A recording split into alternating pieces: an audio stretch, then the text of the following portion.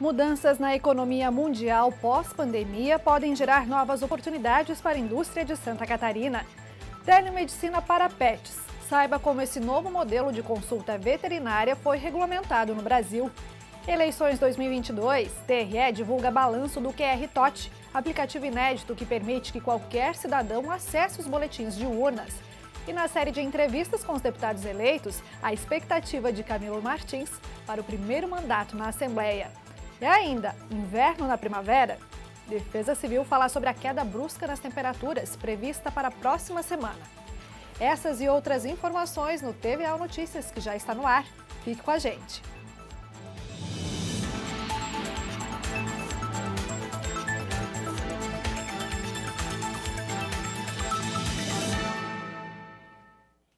Boa noite. A telemedicina, um novo modelo de realização de consulta médica à distância, ficou cada vez mais comum, principalmente depois da pandemia, por causa do distanciamento social. Dados da Associação Brasileira de Empresas de Telemedicina e Saúde Digital apontam que entre 2020 e 2021 foram realizadas mais de 7 milhões de consultas por telemedicina no país. E olha, essa nova ferramenta também já é realidade no campo da medicina veterinária. O repórter Rubens Cardiga traz detalhes sobre a regulamentação da telemedicina para o atendimento a tutores de animais no Brasil. No dia 29 de junho deste ano, o atendimento feito pelos médicos veterinários passou a acontecer também de forma virtual. Isso é o que prevê uma resolução do Conselho Federal de Medicina Veterinária. Na prática, a liberação tornou legal o atendimento por telemedicina que no dia a dia dos profissionais e tutores de animais já ocorria. O que a gente chama de telemedicina veterinária, na verdade, é um conjunto de seis operações: a teleconsulta, a teleinterconsulta, o telemonitoramento, o telediagnóstico e a teletriagem. Então, um, eh, cada uma dessas modalidades vai ter uma aplicação pelo veterinário. No caso do que é mais comum, é a teleconsulta. Porém, existe uma regra básica para que o animal possa ser atendido nessa nova modalidade. Para isso, o médico veterinário tem que ter antes consultado esse animal presencialmente e ele, né, como o profissional que é, sabe é, como lidar com a situação, define se vai atender aquele animal ou não é, através da ferramenta da teleconsulta ou, se é necessário, trazer esse animal até o consultório, até a clínica do profissional, para uma consulta presencial, conforme o caso. Os casos de emergência não podem ser realizados por teleconsulta, justamente pela natureza da situação que demanda a ação imediata e urgente do médico veterinário. E a pandemia do coronavírus acelerou a demanda pelo atendimento virtual dos profissionais da área. No mundo né, onde cada vez mais virtual, cada vez mais as interações acontecem sem as pessoas estarem presentes, é, também né, é, mostrou para a gente a necessidade de regulamentar essas práticas. Na verdade, muitas dessas condutas já vinham sendo é, executadas por profissionais, por, por é, tutores de animais, porém sem uma regulamentação, sem uma segurança jurídica, sem um, uma segurança técnica para a execução desses serviços. E olha, ainda na área da saúde, o programa Rede de Inclusão, que já veicula aqui na programação da TVAL, fala de amor ao próximo. Você vai conhecer a ação de voluntários que ajudam a cuidar e a dar mais qualidade de vida a pacientes do Hospital Regional do Oeste, em Chapecó.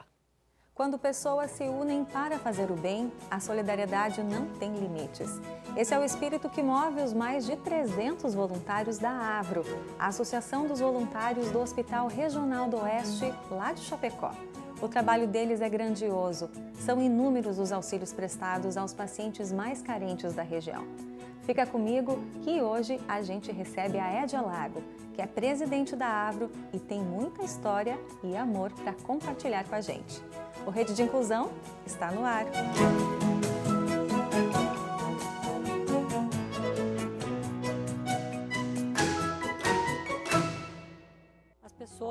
doam as roupas aqui para nós e a gente vende por um preço bem pequenininho, mas que faz toda a diferença para todas as pessoas, né? Porque tem pessoas muito carentes que vêm comprar, mas tem de todos os tipos e a gente tem roupa de todo que é tipo mesmo. À medida que, a nossa entidade foi crescendo, o número de voluntários foi aumentando, as nossas ações foram sendo visualizadas pela comunidade, nós sentimos a necessidade de, de dividir em dois grupos, dois núcleos, o núcleo hospital e o núcleo sede. O sonho da sede própria já é realidade e a intenção é inaugurar o novo espaço no ano que vem. Parabéns, Avro, vocês merecem e muito.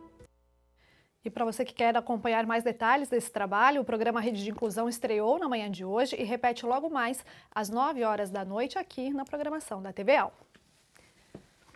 E a Assembleia Legislativa mantém o Observatório da Violência contra a Mulher, criado há um ano para o monitoramento e defesa dos direitos das mulheres em Santa Catarina.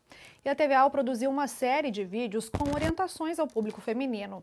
Na edição de hoje, as informações sobre violência patrimonial.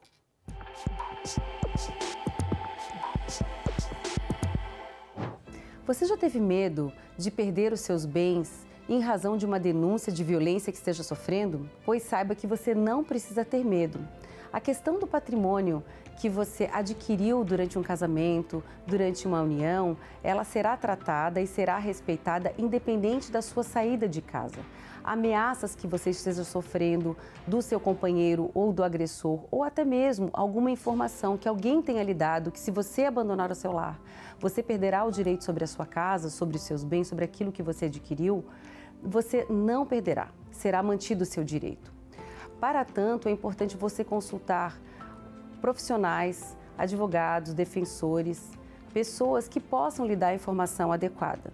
Mas é importante ter esse conhecimento de que esse direito é preservado. A própria Lei Maria da Penha prevê que a questão da punição e da sua segurança pessoal será preservada e a questão do seu patrimônio, a questão dos seus filhos, a questão da pensão alimentícia também poderão, e serão tratadas de modo a contemplar a sua segurança como um todo. Se você precisar de mais informações, busque no site do Observatório de Violência contra Mulheres da Assembleia Legislativa do Estado de Santa Catarina.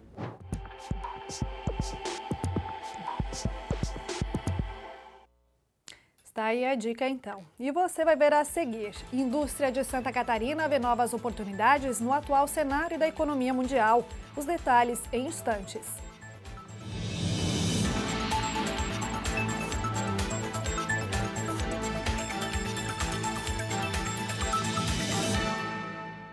Voltamos com o TVAL Notícias e agora nós falamos de boas perspectivas para a indústria de Santa Catarina.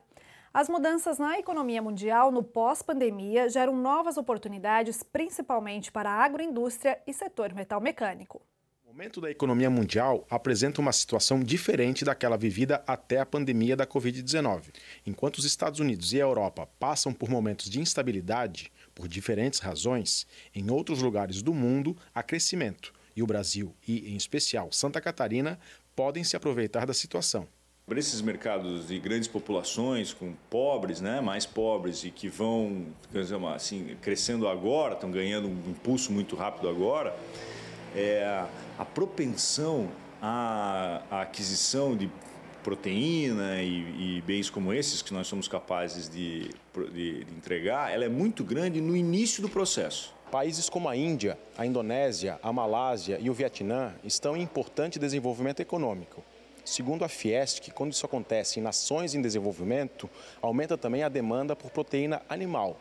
E essa é uma das oportunidades que a agroindústria catarinense deve aproveitar nos próximos anos. Além do agronegócio, outra área da indústria de Santa Catarina que tem potencial no mercado emergente do Sudeste Asiático é o metal mecânico com forte presença no norte e nordeste do estado. Mas quando se continua esse crescimento, essa velocidade de crescimento deve continuar nessas economias, a demanda por bens industriais tende a ser maior tá?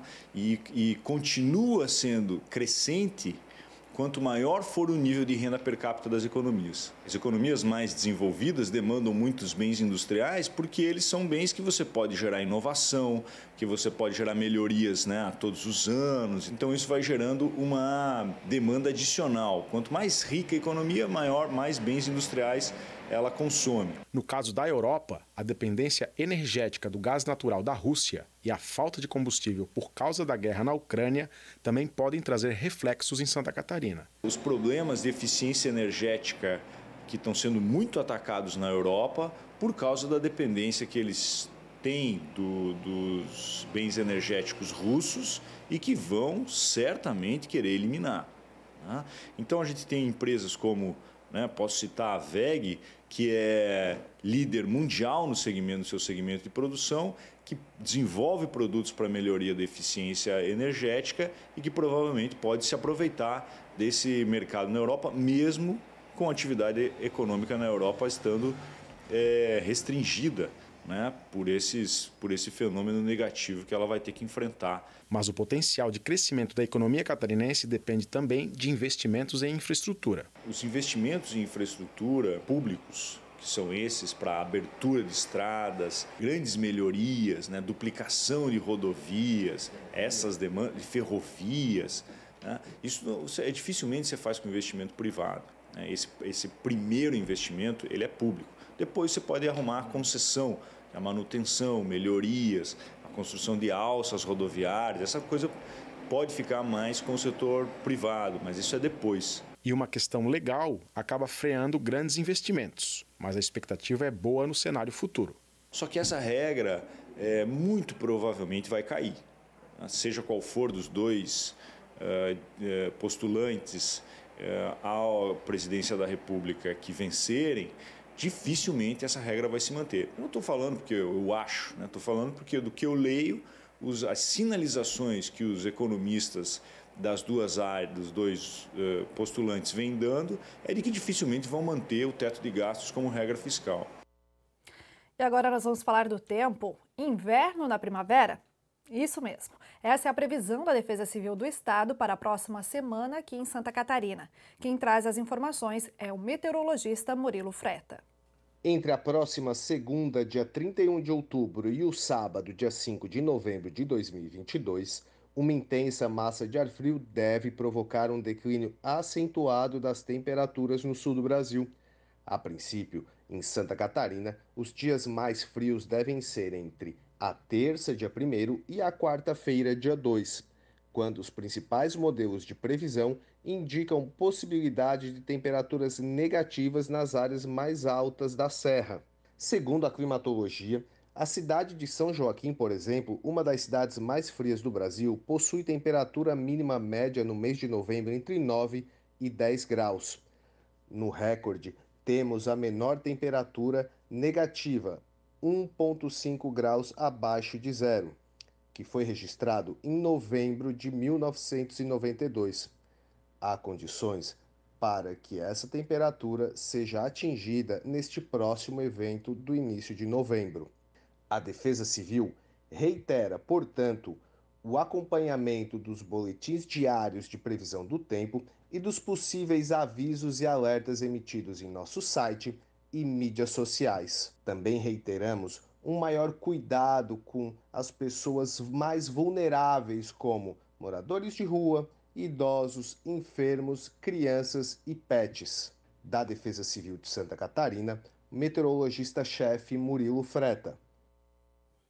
E olha, depois do intervalo, eleições 2022, nós conversamos com o deputado eleito Camilo Martins, que assume pela primeira vez o mandato na Assembleia Legislativa. Em instantes, aqui no TVA Notícias.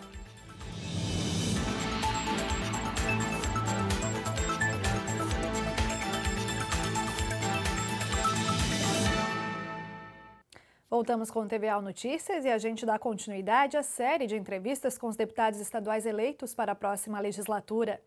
Na edição de hoje, o deputado Camilo Martins, eleito pelo Podemos, fala sobre as principais bandeiras que deve defender no parlamento catarinense. Toda eleição a gente apresenta as propostas aos eleitores, onde fizemos um trabalho muito intenso, não, só, não só na Grande Florianópolis, ou na cidade de Palhoça, mas fizemos por toda Santa Catarina. Apresentamos o que, que nós queríamos levar para o estado de Santa Catarina, quando eu já fui prefeito duas vezes de Palhoça, mostrei tudo que fizemos e tivemos um resultado satisfatório. Fizemos uma grande eleição, é, fizemos muitos votos na cidade de Palhoça, mas também a Grande Florianópolis nos deu bastante voto e a gente também ficou surpreso com a votação que tivemos nos restantes dos municípios de Santa Catarina. Então a gente está muito feliz, é muito empolgado para assumir esse mandato, para trabalhar muito em prol dos catarinenses. O senhor falou é, que o senhor já ocupou o cargo de prefeito de Palhoça. Além desse cargo, o senhor puder fazer um histórico né, da, da sua biografia para a gente, de forma bem resumida? Vamos lá, eu sou advogado por formação, advoguei 11 anos diretamente num escritório de advocacia, trabalhando muito. Também sou procurador de carreira da Câmara Municipal de Palhoça, onde eu exerço o cargo até os dias de hoje. E quando assumi, em 2013, o mandato de prefeito, eu me afastei um pouco da advocacia e fui me dedicar mesmo é, no mandato de prefeito. Me reelejo com a maior votação da história da cidade de Palhoça em 2016 e termino meu mandato em 2020. De 2020 a 2022, é, eu ocupei, é, ajudei lá na prefeitura durante um período é, nos projetos especiais do município, mas também trabalhei como procurador e como advogado. E daí parei ali no período de 60 dias para disputar o pleito é, como deputado estadual e no dia 2 de outubro a gente consegue se elegendo uma candeira na Assembleia Legislativa. Mais ou menos é isso e agora sempre falo é trabalhar porque essa é a função que a população nos deu para estar aqui na Assembleia representando os catarinenses. Como é que deve ser seu trabalho aqui no seu primeiro mandato como deputado estadual?